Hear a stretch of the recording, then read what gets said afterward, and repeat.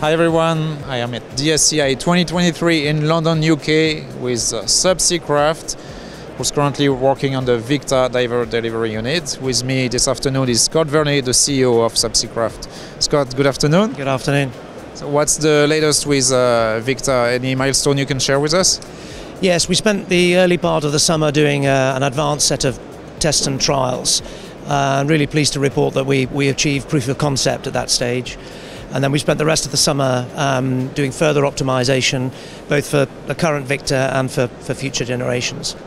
Um, and as a consequence of that, we've now actually started manufacture of our second craft.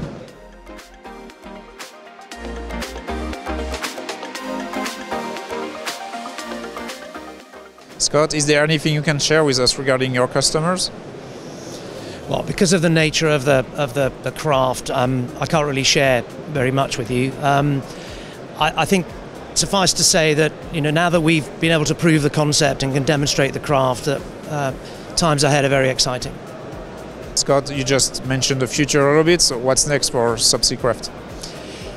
Well, I think uh, further development of, of, Victa and any variants that come along from that. Um, but we invest quite heavily in R and D, and we, we listen to what our what our clients' requirements are. Um, and there are a number of areas of technology that we are exploring and want to continue to explore that are complementary to Victa and the development of this capability.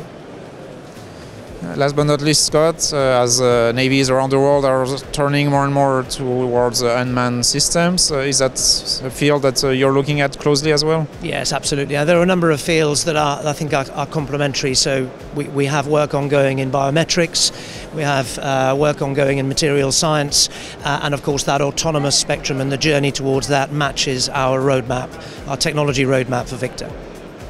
All right, Scott. Thank you very much. Thank you. Good to see you again.